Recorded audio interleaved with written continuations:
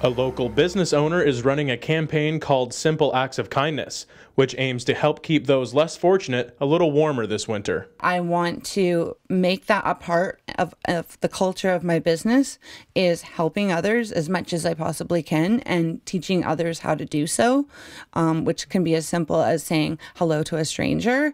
And with this simple act of kindness, this is a way to give something to someone. Scarves and toques will be available to purchase, and when you buy one, you also get to donate one as well. That will cover your toque for yourself, and then the second toque will be complimentary, and you can choose to give it to um, a person in need or someone in your life who you would like to gift something to, or you can choose to leave it with me, and then I will go out on the street and I will like physically give it to somebody that I see needs a toque or something because they're cold. It's very cold out. If you're looking to give a gift to someone in need as a random act of kindness this holiday season, this might be the right idea for you.